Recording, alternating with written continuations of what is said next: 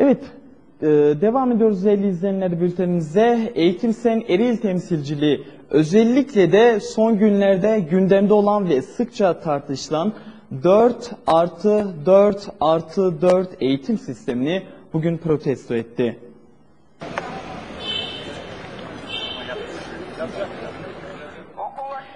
Ereğli Site İş Merkezi önünde toplanan Eğitim Sen Eril Şubesi üyeleri 4 artı 4 artı 4 eğitim sisteminin kabul edilebilir bir şey olmadığını söyleyerek iktidarın eğitim ve öğretimden elini çekmesi gerektiğini ifade ettiler.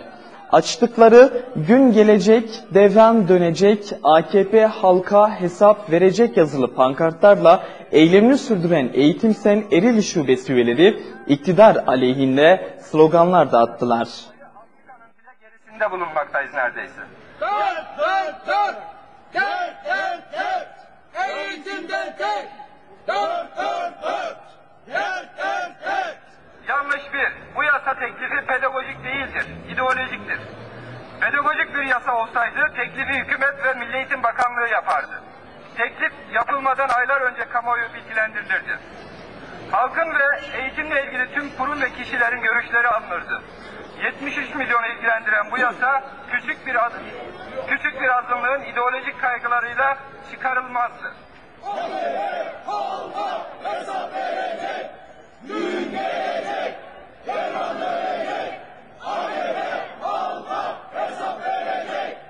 Gün gelecek. Devran dönecek. AKP halka hesap verecek. Yanlış iki. Bu haliyle bu yasa örgün eğitimde bir artışa gitmediği gibi gitmeyi amaçlamıştır. Şimdiki 8 yıllık örgün eğitimi 4 yıla indirmek istemişler. Yasanın geldiği ilk günler tıpkı eleştirdikleri 28 Şubat gibi tepkiler üzerine 27 Şubat'ta MKK'da 8 yıl kabul edilmiştir. Hatalar yapıldığı tartışılmaktadır. Bu çocuk haklarına ve insan haklarına ciddi bir saldırıdır. Yanlış yedi.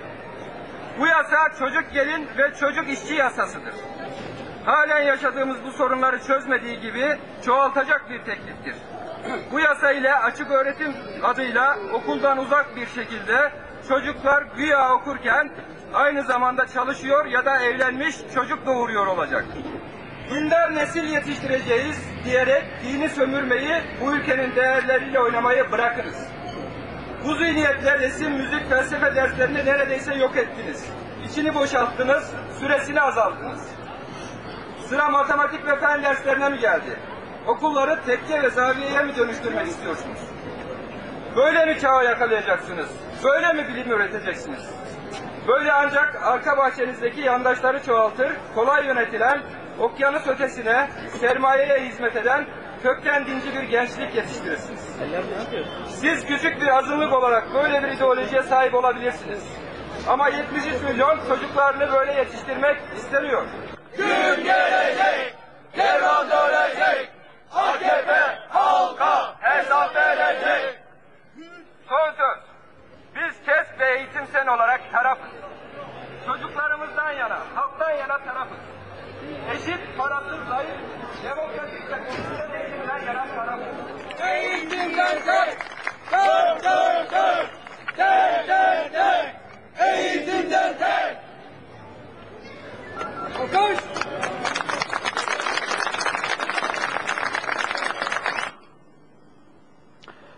Devam ediyoruz değerli izleyenler bültenimize. Türk Ocakları Eril Şubesi tarafından